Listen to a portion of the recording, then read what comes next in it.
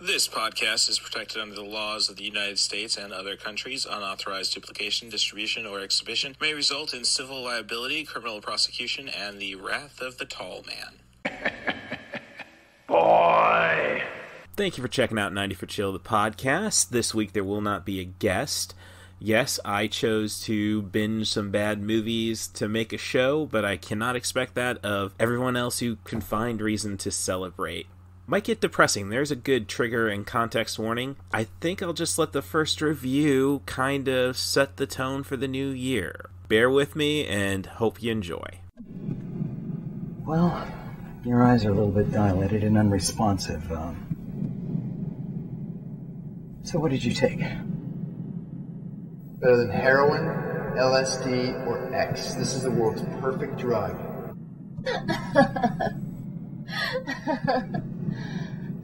Don't look at me like that, like I'm some kind of freak. You want it too. You're still fighting it, but you want it. It's not the drug, Tuesday. Desire's inside of us. The drug just lets us be who we really are. You're thinking about it now, aren't you? I'm not going back out there. what are we gonna do? Boy tried to defend himself, but he was too drunk.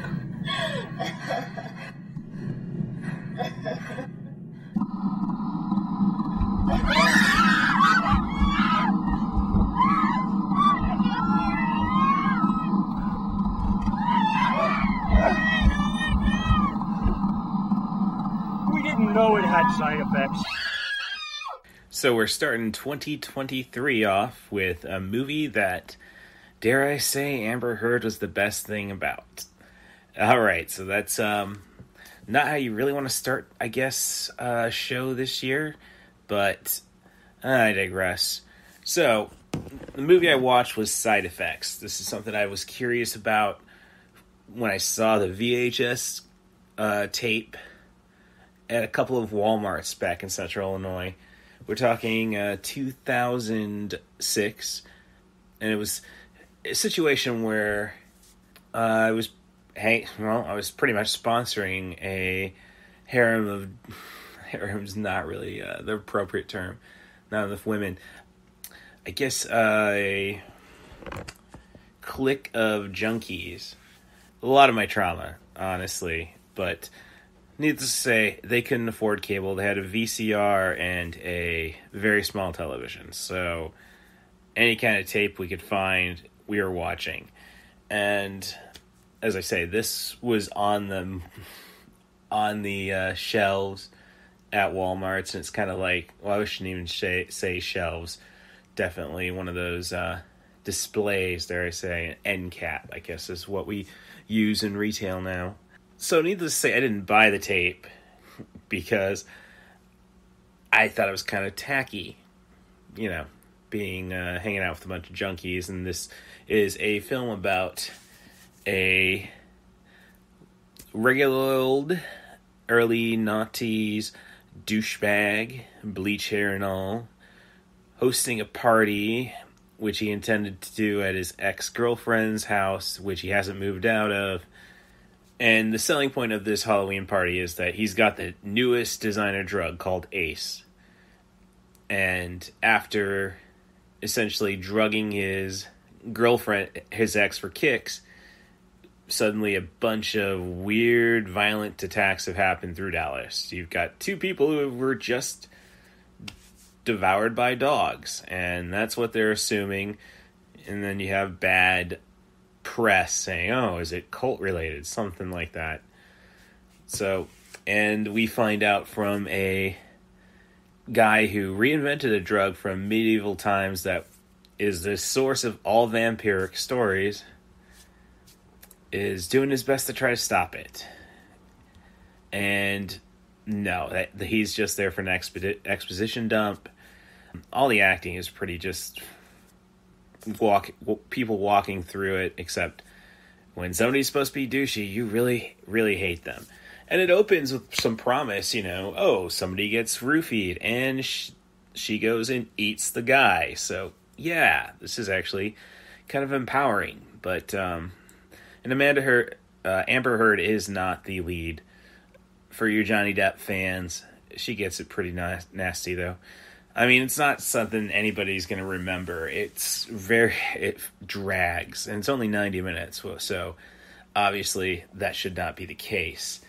So you get an hour of exposition, and then you get to your third act, and they even figure out a way to make that drag. So there's some good ideas, good concepts, which I can understand. Hey, um, you know, let's throw some money at this. But then, yeah, this is 2004, shot on videotape, which, not to say I haven't seen this stuff, but, you know, if I wasn't going into this prepared for a bad movie, I would be very miffed.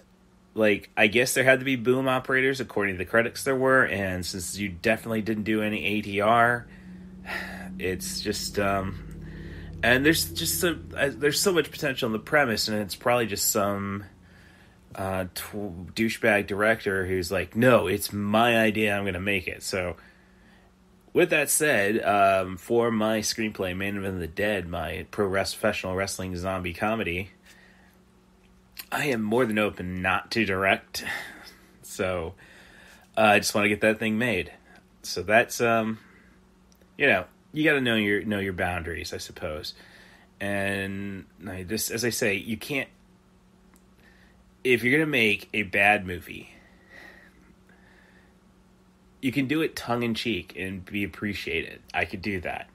Give you some good set pieces. Like the end should be Night of the Demons, and oh no, nothing close to that. So, and the vampire element is kind of dropped. I mean, there's a lot of good, good, good concepts. Just you can't when you have something that's good like this, you can't drop the ball. That's the most disappointing thing about it. It's like, nope, we're just gonna we're just gonna tape it, and I'm surprised the people they were able that they even got people who have IMDb pages, as I say, Amber Heard primarily. So, yeah, so this was basically a watch from my Netflix DVD, so I could go and jump to my next D- get send this in the mail get to my next DVD so I can somehow compose a Chris Jericho dedicated episode. So, 2023. I'd say the year of the Ocho, but he's probably got a new gimmick by now. Little Hand says it's time to rock and roll. Bring the noise.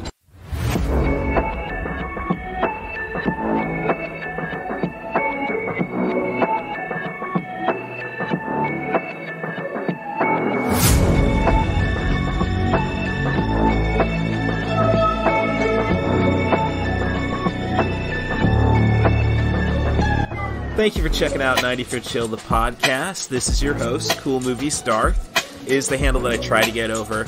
Cat Bus Russ is what my fellow podcasters know me best as. And if you need Amazon Echo or Google Nest to give you access to my podcast, Ask It to Play podcast by Russ Stevens. You can follow what I'm watching on Letterboxd. The username is CM Darth, and if you want to bitch about the podcast, please do that over on my Twitter account at CatBusRuss. Or hey, let's branch out. Let's do Mastodon. That username, and bear with me, is at Russ Stevens, all one word, at mastodon.social.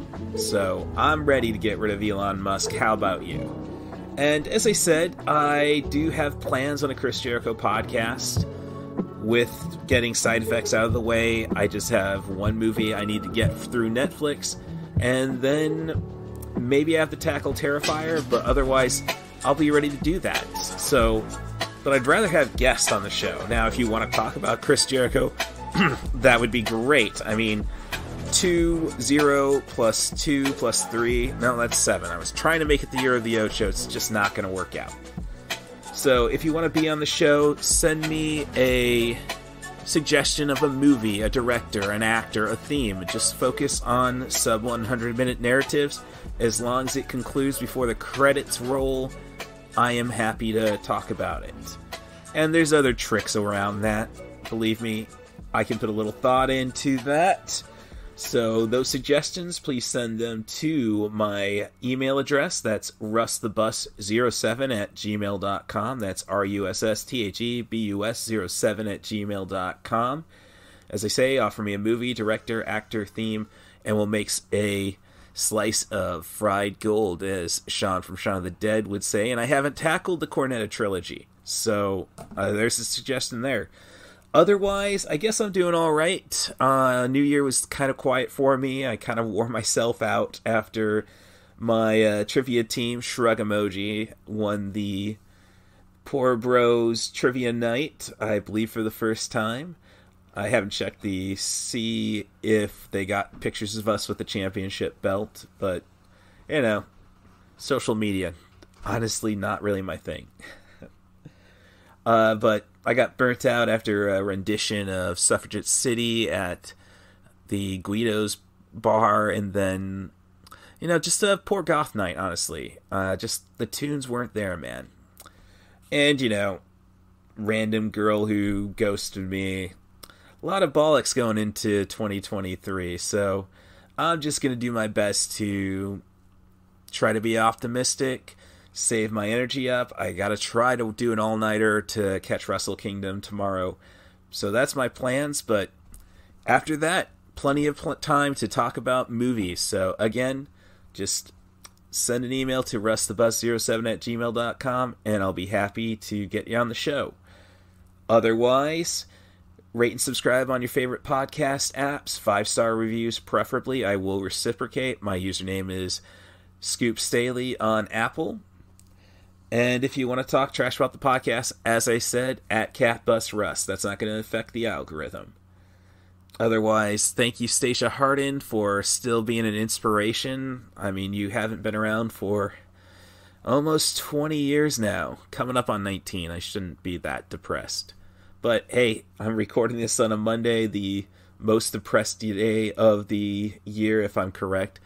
Who knows? It might be the 8th, but I digress. So, needless to say, Stacia's my inspiration, and as long as I can honor her, I think I'm doing all right. So, hey, we end on a note of optimism, and you're going to be surprised. I kind of got very optimistic about the following feature, so listen to the review and enjoy. 90 for Chill, the podcast, proudly presents to you Ally's Accessories Shop on Etsy's Trash Feature Review. We are in the last city on Earth. Some call it the perfect society, but others know better. Government control is total. People disappear as though they never existed. But there are rebels who believe in freedom and who fight in the name of the disappeared. I am one of them.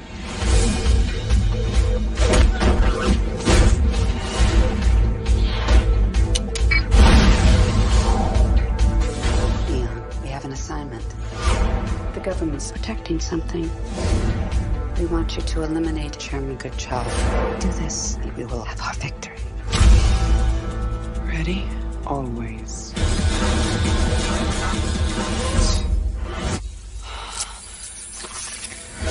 I keep off the grass. She's coming. Get to a safe place. Good boys. Our world is beautiful, worth preserving at any cost. You're pathetic. I'm afraid we're going too far. This is a war, and people on all sides die. Amateurs. You may want to duck.